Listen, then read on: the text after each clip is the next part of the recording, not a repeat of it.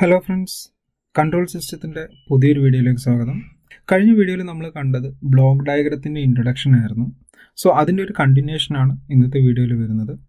This is rules for block diagram reduction നമുക്കൊരു block ഡയഗ്രത്തിന്റെ problem തരികയാണെങ്കിൽ ആ പ്രോബ്ലം സോൾവ് ചെയ്യുന്നത് അതിനെ റെഡ്യൂസ് ചെയ്ത് റെഡ്യൂസ് ചെയ്തിട്ടാണ്. സോ ഇത് നമ്മൾ റെഡ്യൂസ് ചെയ്യുന്നതിന് വേണ്ടിയിട്ട് നമുക്ക് ചില റൂൾസുകളുണ്ട്. ആ റൂൾസുകൾ നമ്മൾ അറിഞ്ഞിരുന്നാൽ മാത്രമേ അത് റെഡ്യൂസ് ചെയ്തിട്ട് നമുക്ക് ആ പ്രോബ്ലം സോൾവ് ചെയ്യാൻ പറ്റുള്ളൂ. സോ ആ പ്രോബ്ലം സോൾവ് ചെയ്യുന്നതിനുള്ള റൂൾസുകളാണ് നമ്മൾ ഇന്നത്തെ വീഡിയോയിൽ കാണാൻ പോകുന്നത്.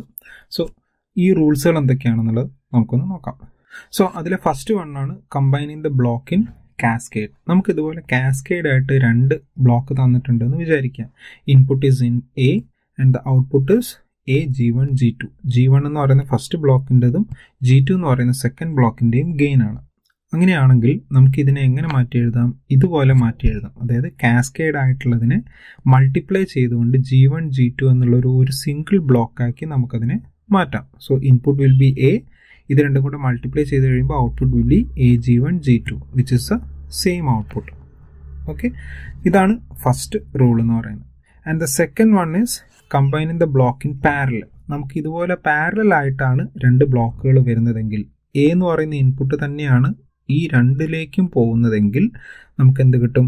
ഇങ്ങനെയുള്ള ഒരു ഔട്ട്പുട്ടാണ് കിട്ടുക. ദാറ്റ് ഈസ് ഇത് നമുക്ക് ഒരു സമ്മിങ് പോയിന്റിലേക്ക് വന്നു കഴിഞ്ഞിട്ടുണ്ടെങ്കിൽ A into G one plus G two എന്നുള്ള ഔട്ട്പുട്ടാണ് നമുക്ക് കിട്ടുക.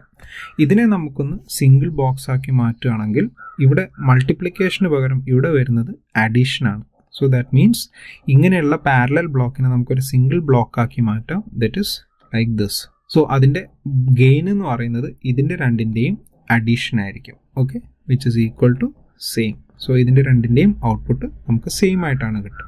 ഇനി തേർഡ് റൂൾ എന്ന് പറയുന്നത് moving branch point ahead of the block so suppose ഇതുപോലെയുള്ള ഒരു ബ്ലോക്കാണ് നമുക്ക് തന്നിട്ടുള്ളത്. ഇതിന്റെ മുമ്പിലുള്ള എ എന്ന് പറയുന്ന ഇവിടുന്ന് ഒരു ബ്രാഞ്ച് പോയിന്റ് വരുന്നുണ്ട്.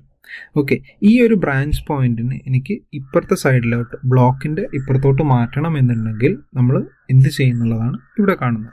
So suppose if you are moving this point to this നമ്മൾ ഇങ്ങോട്ട് മാറ്റുന്ന സമയത്ത് ഈ ബ്രാഞ്ച് പോയിന്റിന്റെ കൂടെ വൺ ബൈ ജി എന്ന് പറഞ്ഞിട്ടുള്ള ഒരു എക്സ്ട്രാ ബ്ലോക്ക് നമ്മളോട് ആഡ് ചെയ്യണം. ഓക്കെ സോ ഈ ഒരു ആഡിങ് നടന്നു കഴിഞ്ഞിട്ടുണ്ടെങ്കിൽ the output will be same ഇവിടെ നമുക്ക് ഇതിന്റെ ഔട്ട്പുട്ട് എ ജിയും ഇതിന്റെ output എയുമാണ് okay so if you are moving like this നമ്മളിവിടെ ഒരു വൺ ബൈ ജി ആഡ് ചെയ്ത് കഴിഞ്ഞിട്ടുണ്ടെങ്കിൽ സെയിം ഔട്ട്പുട്ട് ആണ് നമുക്ക് കിട്ടുക. So this is the third rule okay and the fourth one is moving the branch before the block ആദ്യം നമ്മൾ ഇവിടുന്ന് ഇങ്ങോട്ടാണ് മാറ്റിയിരുന്നെങ്കിൽ ഈ സ്റ്റെപ്പിൽ നമ്മൾ ഇതിനെ ബിഫോർ ദ ബ്ലോക്കിലേക്ക് ചേഞ്ച് ചെയ്യുകയാണെങ്കിൽ എന്താ സംഭവിക്കുക?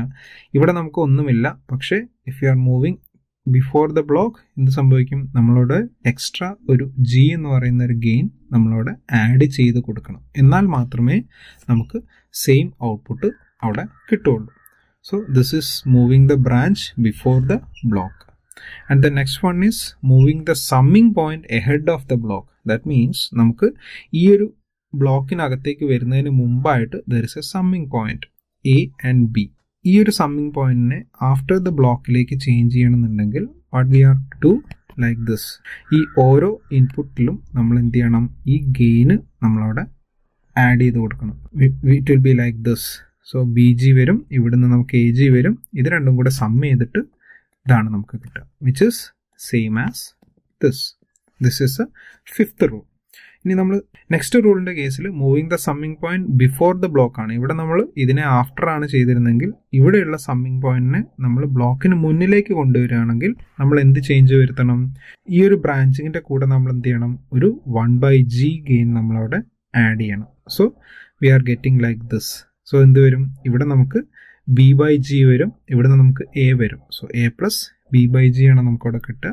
ആൻഡ് ഇൻ ടു ജി ചെയ്യുന്ന സമയത്ത് we are getting A G plus B which is same as this that is a six rule അടുത്ത റൂൾ എന്ന് പറയുന്നതാണ് seventh rule interchanging the summing point suppose നമുക്ക് ഇവിടെ രണ്ട് സമ്മിങ് പോയിന്റ്സുകൾ ഉണ്ടെന്ന് വിചാരിക്കുക. ഇതിൽ എ പ്ലസ് ബി ആണ് ചെയ്യുന്നത് ഇവിടെ മൈനസ് സി ആണ് ചെയ്യുന്നത്. So we are getting A plus B minus C so ഇതിനെ നമ്മൾ ഇന്റർചേഞ്ച് ചെയ്യണമെന്നുണ്ടെങ്കിൽ അതായത് ഈ ബ്ലോക്കിനെ നമ്മൾ ഇവിടെ കൊണ്ടുവരുന്നു ഇതിനെ നമുക്ക് ഇവിടെ കൊണ്ടുവരുന്നു. ആൻഡ് ദിസ് ഇസ് ഈസി നമ്മളിവിടെ എന്ത് ചെയ്യും? ഇതിങ്ങോട്ട് വരുന്ന സമയത്ത് എ മൈനസ് സി ആണ് നമുക്ക് വരിക. ഈ ബ്ലോക്കിലേക്ക് വരുന്ന ഇൻപുട്ടാണ് C so A minus C and ഇവിടെ നമുക്ക് ബി എന്ന് പറയുന്നത് സെക്കൻഡ് സെക്കൻഡിലേക്ക് വരും. So we are getting same output in both cases okay that is a seventh one and the next one is splitting and combining summing point suppose നമുക്കൊരു summing പോയിന്റിൽ more than two signals ഉണ്ട് എന്ന് വിചാരിക്കുക. One two and three A B C എന്ന് പറഞ്ഞ signal വരുന്നുണ്ട്. A plus B minus C ആണ് നമുക്കിവിടെ കിട്ടുന്നത്.